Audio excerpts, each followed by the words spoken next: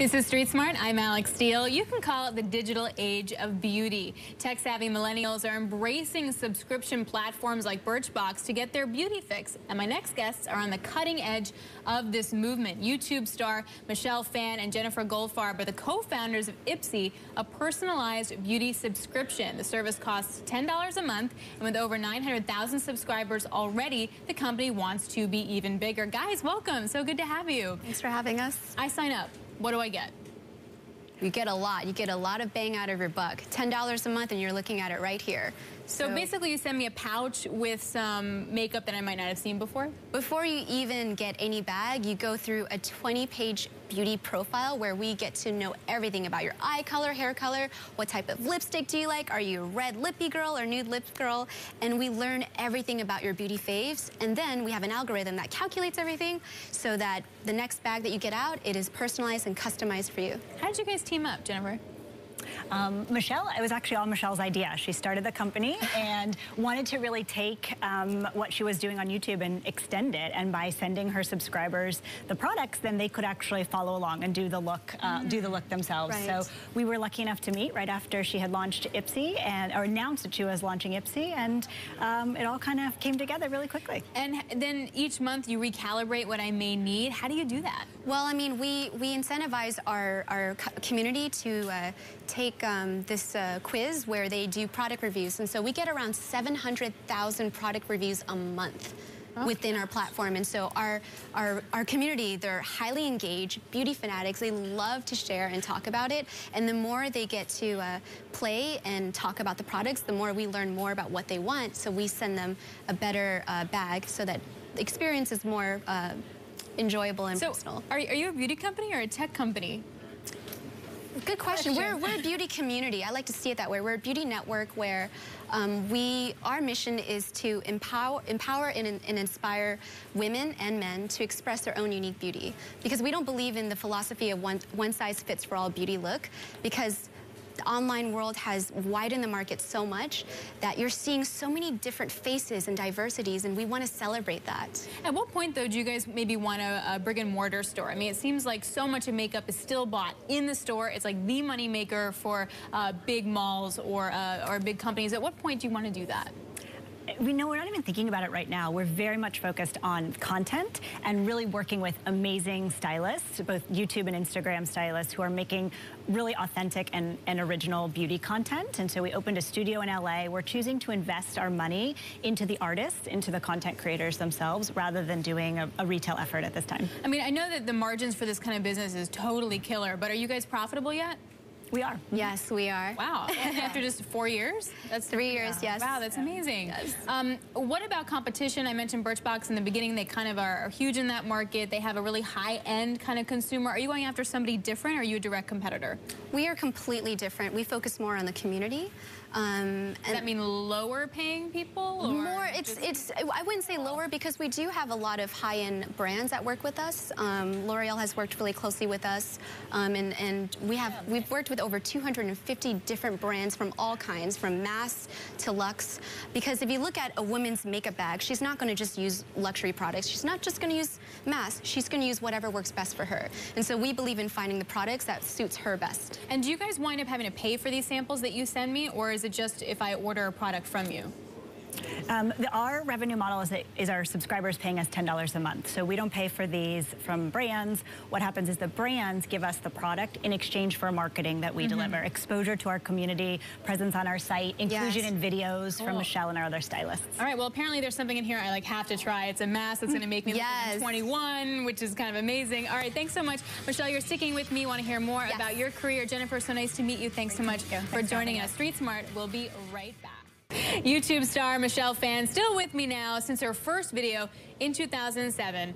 Michelle has transformed her business into a L'Oreal line, a lifestyle channel, an e-commerce startup, and has more than a billion views on YouTube channel. It's pretty amazing. Michelle, it's so cool to be with you. You know, what is your thanks. secret? Because we hear so much of the people on YouTube who want to become the next star, right? Of I mean, course, who doesn't? It's the best job in the world. You wake up and you get to film and create whatever you want, and you have this amazing platform where you have this direct one-on-one -on -one relationship with your audience. But there is, you know, everyone asks me, what's the secret, Michelle? What's the secret sauce? There is no secret sauce. And if there was a secret sauce, it's the fact that online platforms and everything digital, it's constantly evolving. Every six months, there's a new trend, there's something new and hot coming on the market, and you just have to learn how to pivot fast and really have a nice one-way dial or two-way dialogue with your community so that wherever they go, you go with them. How do you stay on top of it though? Because you have so many ventures uh, that you're involved in, right? And you're only as good as your vendors and your suppliers, right? So how do you do that? How do you stay on top of the new thing?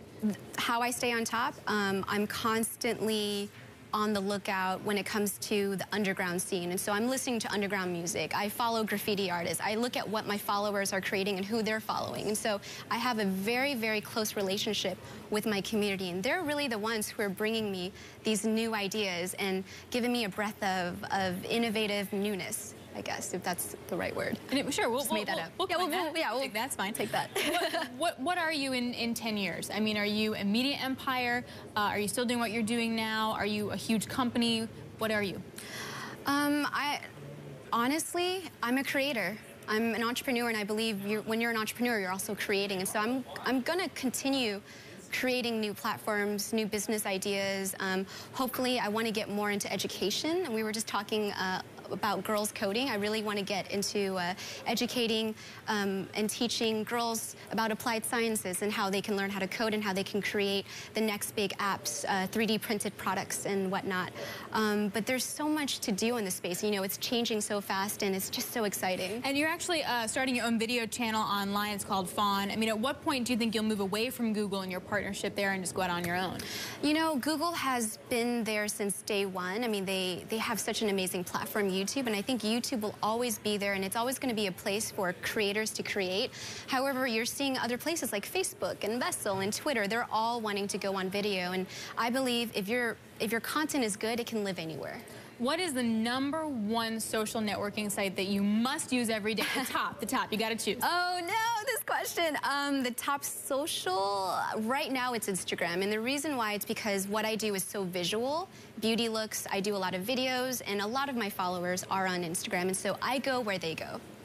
Do you think Snapchat's worth 15 million? I'm also I'm also on Snapchat. um, do I think Snapchat is worth 15 million? Well, you know what? Billion. Um, it's a billion. Oh yeah. my gosh, 15 billion. well it's tough to say because uh, I, I I'm not, you know, I'm not seeing any ads. And so it, to me, it feels like it's a brand new social media site and it feels very authentic. And so I can't really say if it's worth 15 billion, but I will tell you that a lot of my followers are there. And so that's why I'm also on Snapchat. Oh, man. Okay. Um, what do you want to say to your younger version self? International Women's Day kind of had that theme. Uh, you have like 10 seconds. What do you want to say? I want to say that, you know, luck is opportunity meets preparation and to always be prepared for the next opportunity that might come along, and you are in control of your own luck. And work hard. Yes, of course. You're be determined. Hard. Yes. Michelle, so nice to chat with you. Thanks so much, guys. Have a great weekend from brands. What happens is the brands give us the product in exchange for marketing that we mm -hmm. deliver, exposure to our community,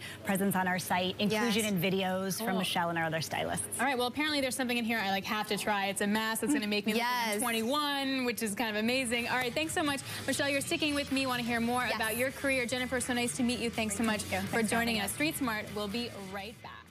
YouTube star Michelle Phan still with me now since her first video in 2007.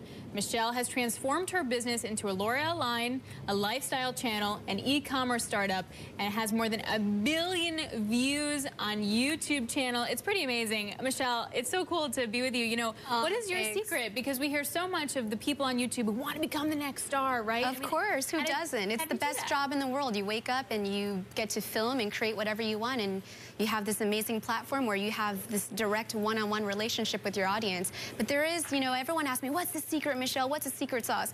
There is no secret sauce. And if there was a secret sauce, it's the fact that online platforms and everything digital, it's constantly evolving. Every six months, there's a new trend, there's something new and hot coming on the market, and you just have to learn how to pivot fast and really have a nice one-way dial or two-way dialogue with your community so that we're Ipsy and or announced that she was launching Ipsy and um, it all kind of came together really quickly. And then each month you recalibrate what I may need. How do you do that? Well, I mean, we, we incentivize our, our community to uh, take um, this uh, quiz where they do product reviews. And so we get around 700,000 product reviews a month. Oh, within our platform. And so our, our, our community, they're highly engaged, beauty fanatics. They love to share and talk about it. And the more they get to uh, play and talk about the products, the more we learn more about what they want. So we send them a better uh, bag so that the experience is more uh, enjoyable and so personal. Are, are you a beauty company or a tech company? Good question. question. We're, we're a beauty community. I like to see it that way. We're a beauty network where um, we, our mission is to empower, empower and, and, inspire women and men to express their own unique beauty. Because we don't believe in the philosophy of one, one size fits for all beauty look.